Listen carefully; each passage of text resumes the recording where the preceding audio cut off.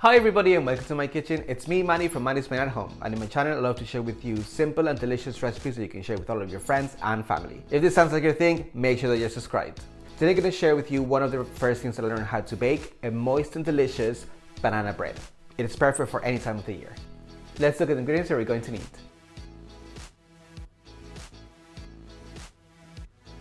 Alright, First of all, when I'm baking, I always like to prep my pans in advance. So I'm gonna butter my pan. Also, when I'm doing this, I like to use cold butter because then I use less. And just make sure you get all of the corners. And then put some flour on top of it and toss it all around to make sure that it's well coated. In this way, I can make sure that my cake or my banana bread in this case won't stick to the pan. Next, I need to melt down my butter, so I'm just gonna put it into the microwave and heat it up in 10 to 15 second intervals until it's nice and melted and then allow it to come back to room temperature. And while I prep the rest of my ingredients, I'm preheating my oven to 160 degrees. Into a large bowl, I'm gonna add in all of my dry ingredients. So the flour, baking powder, baking soda, I've got some cinnamon for flavor, and a spice of my own addition, some cardamom. It's gonna give us a delicious, delicious flavor. I'm just gonna sift everything through that's gonna help to mix it, and then go in with a whisk and just mix it thoroughly. Okay, now we can move on to our wet ingredients. First, I wanna deal with my bananas. For banana bread, you're best to use all bananas. These are super, super ripe. They're almost falling apart, so pick them up. And this is great because the first thing we need to do is mash them up. Also, as the banana ripens or over ripens, it intensifies its flavor, so it's gonna really come through in the final product, which is what you want. This is banana bread. And just mash them up like this with a fork. Funny story, this is actually a recipe that we already recorded, but due to technical issues, we lost the footage, so making it again for you. Once my bananas are nice and mashed up, I'm gonna go in with the sugar, which I always find funny is considered wet ingredients, but there you go. I can also go in with my eggs, which are room temperature.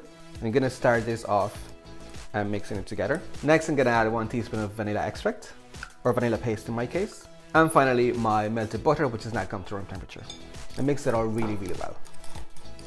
Next, I'm gonna prep my nuts. I think banana bread should always have some form of nuts. Typically I would use walnuts, which I have here, but I found that a nice combination of like half walnuts and half pecans gives you delicious, delicious flavors. I'm just gonna break them up with my hands. You can chop this if you want, if you want them super, super fine, but I like the texture that it gives also when you're biting into the soft bread, and then you get a nice and crunchy bit of nut. Oh, it's the best.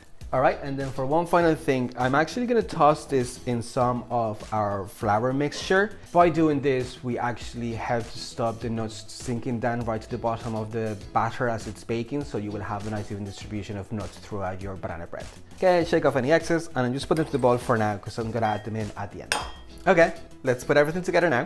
I'm just gonna make a little well in the bowl with my dry ingredients and then I'm gonna dump in all of my wet ingredients. And with a spatula or a wooden spoon you wanna mix, mix it only until it's all well incorporated. You do not want to overmix flour, particularly batter like this because it will be too tough at the end. We're just looking for all of the flour to become moistened. After that we can stop.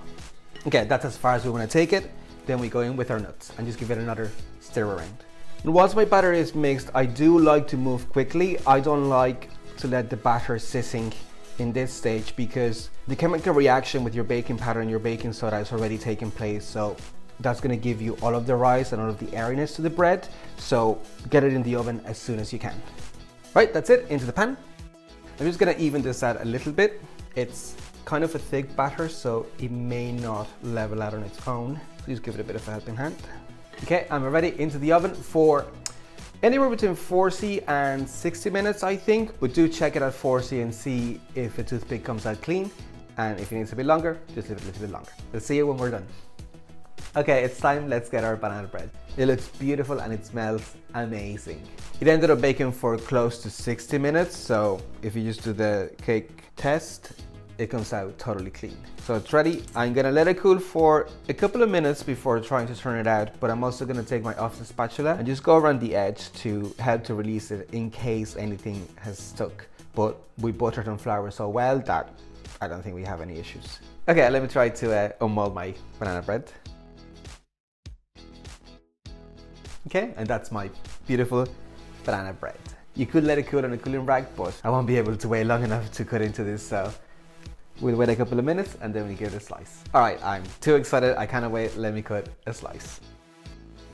Okay, I really should have waited a little bit longer for it to cool, but uh, look at how beautiful that looks. It's still steaming, it is so soft and beautifully moist. You can see a nice distribution of all of the nuts that we used. It's just gonna be amazing. This is so good. It is a winner every time. The banana flavor is so intense because we use the overripe bananas. And the crunchiness that you get from those nuts this pressed red is just fantastic. This is so good, even if it's burning my mouth as I'm eating it. This is one of my favorite things to bake and to eat. It is so good. It is so simple, perfect for beginners, so make sure that you give it a try today. I love recipes such as this as well because you're using bananas that nobody else will touch.